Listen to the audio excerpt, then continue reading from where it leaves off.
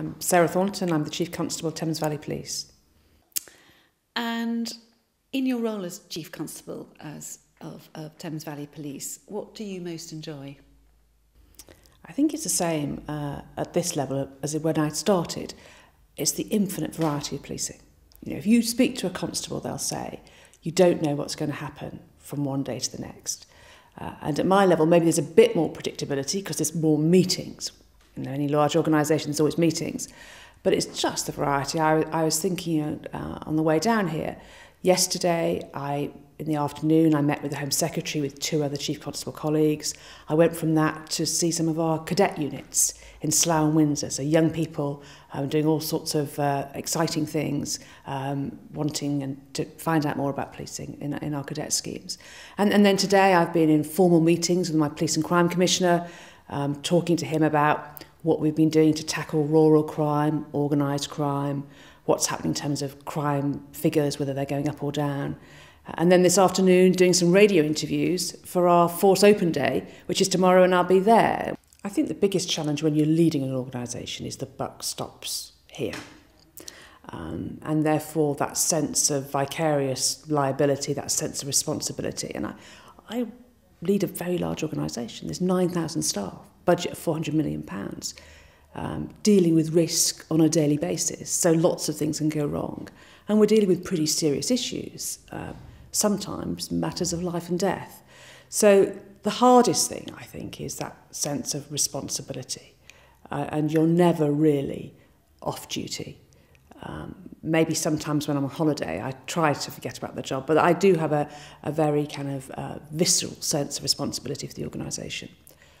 I, I think the other thing that's hard, and it's like that, I guess, in many big jobs, it's the people issues.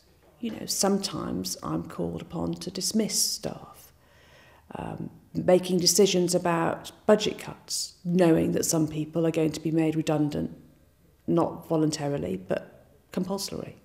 You know, that is difficult. Um, you know, dealing with difficult cases where, um, you know, situations um, are, are tricky, feelings are very high on both sides, and, and how do you um, act justly, act empathetically. So um, the main thing is that sense of responsibility for what is a pretty risky business and not being able to get away from that. that that's fine, that's the deal. Um, but, but the second thing, which is I think in common with many leaders, is that those, those difficult, difficult people issues. It's about do you do the right thing or do you do the easy thing? The police deals with a lot of crises, um, you know, everything from kind of terrorist incidents to you know, high risk missing children, kidnaps. So, you know, that's an aspect in our work that maybe other jobs don't have. And in terms of the leadership that's required, I would say that it's, it's very similar, but it's that intensity, it's the tempo that's different. So, all the things that you should be doing um, around decision making, for example, in terms of you know, consulting the experts, gathering the information, being clear about what decisions you're making, making sure those decisions are communicating, checking up that it's, that it's happening on the ground, all those things that you would normally do, but you're doing them at speed with an intensity and maybe with much kind of greater risk. If you make the wrong call, then actually the stakes can be higher. So I, I don't think it's necessarily a different skill set. I think it's the same skill set, but with a, in a massively different tempo in that intense situation. And I, you know, it, it, we often say, you know, particularly around firearms officers, um, those high risk situations, firearms officers have drills Farron's commanders, you don't exactly have a drill, but you have a decision-making model. You have a kind of a theory about how you make decisions. And, you know, when you're under pressure, um, when the stakes are high, then you need to make sure you understand those things and they're there and they become automatic. That's the way to deal with it. In my own force, I'm the chief. And so uh, I lead a team of, of eight other people, but it's quite apparent I'm the leader. So I have a positional power. Um, Uh, of course, I would always seek to influence as well, but, but actually it's, it's quite clear. You know, I have a badge of rank on my shoulder and ev everybody knows. But I do work an awful lot with other chief constables where I don't have that hierarchical position, except to say that we have an association of chief police officers, which is known as ACPO, uh, and I am one of the vice presidents. So I have been elected by my colleagues, but that's quite a flimsy form of authority, you know, two years ago. You know, um, I was a popular choice, Um, so I am working with colleagues um, and indeed the president, who, who is more senior than me, um, trying to influence. Um, and, and what would I say? If you're working with peers, relationships are so important. You know, just those conversations, those text messages, forming relationships, trying to see things from the other person's perspective. You know, I might have a position, they might have a position. Well, why is it that they're thinking differently for me? Do I really care about my position? Can I give? Can I look at it from their perspective? You know, the sort of things are you know, walking in somebody else's shoes, all that kind of stuff. So, um, relationships, empathy, a bit of humility, I guess, in your leadership. Um, and, and, you know, trying to, to, to achieve, um, mediate some sort of common aim. I, I'm, you know, a great one. I, one of the examples I, I might give uh, later today is a recent example working with chiefs. You know, when I we were making a decision which I knew was controversial. So what do I do?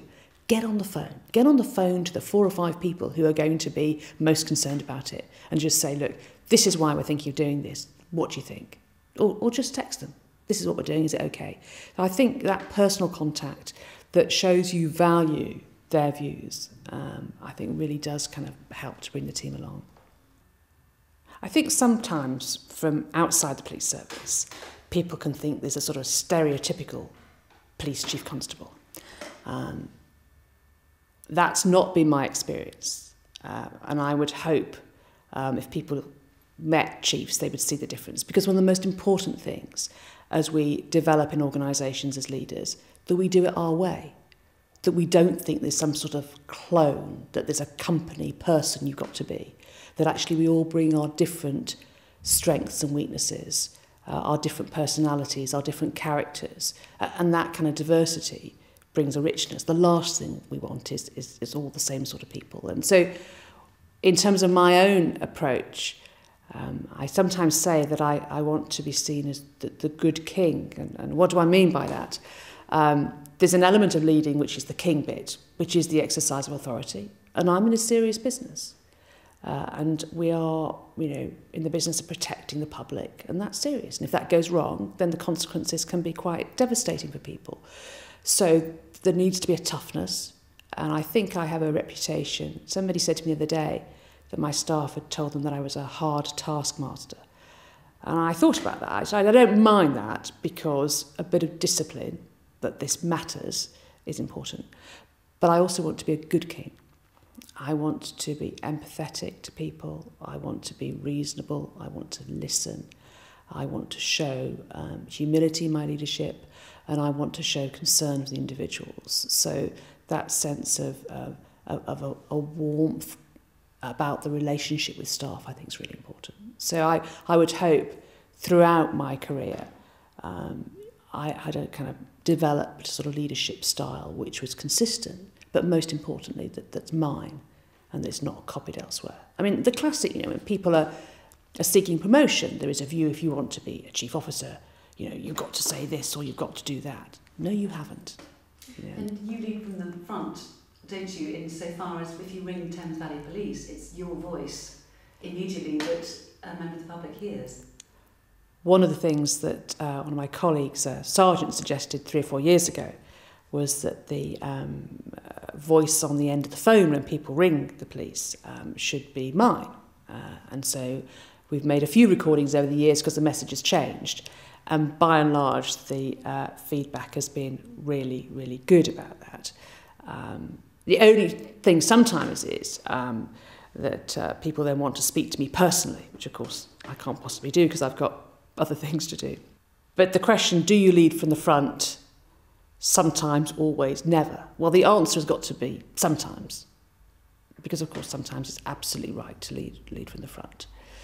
But I quite like the idea of leading from the middle, particularly in the situation I am in now, I have a, a team uh, of eight really fantastic, capable people. I have either selected or had a very strong hand in the selection of all of them. And, you know, I need to give them room to be the really brilliant people they are. So, you know, creating, I don't know, the, the vision, you know, what are we going to achieve? What is, what's, the, um, what's the goal? And, and to give people the space and the confidence to deliver, I think, is really, really important. So sometimes that kind of leading from the middle is really uh, key. But, you know, in times of crisis, you know, up there at the front, when things are under pressure, um, one of the things um, that I've dealt with recently was a, a very, very difficult case um, of, of child grooming in Oxford.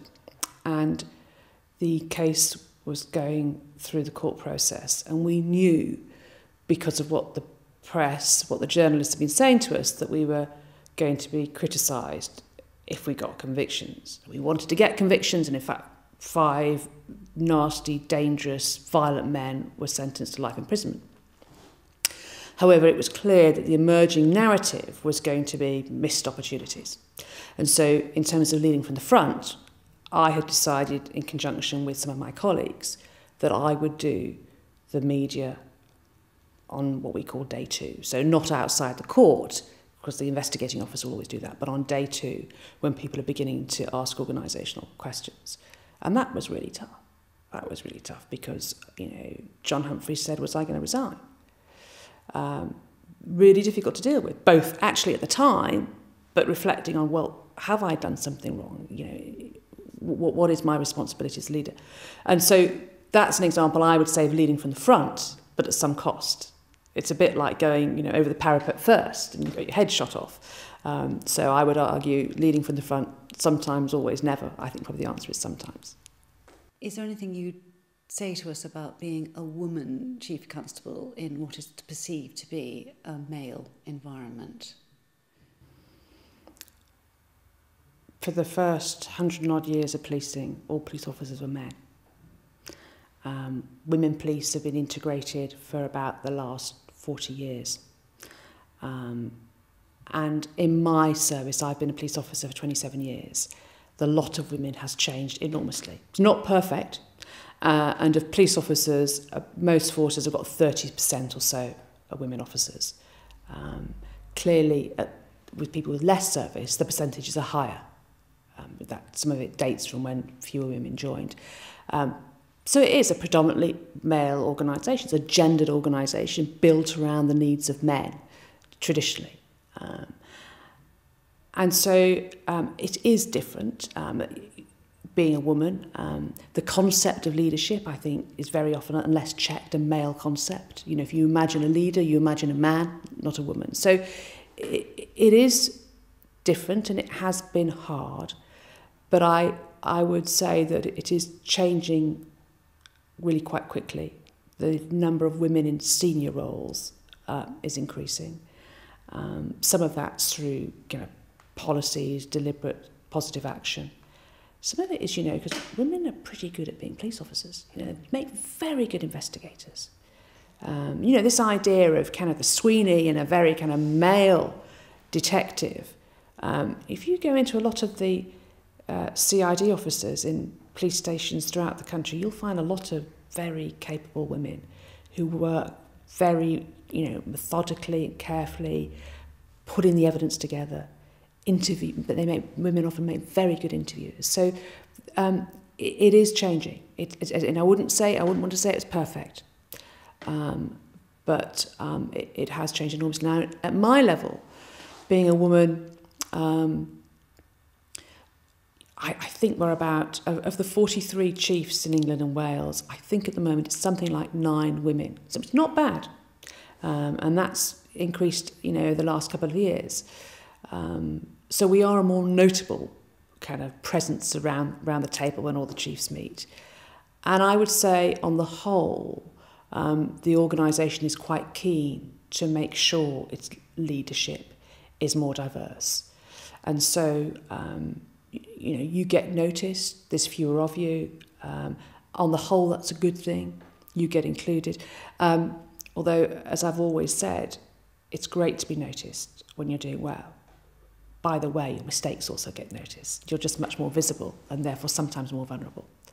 So, um, you know, I am aware of my gender, um, but I would say at, at this level, um, you know, there are both advantages um, and, and some disbenefits, but, but not that many. I mean,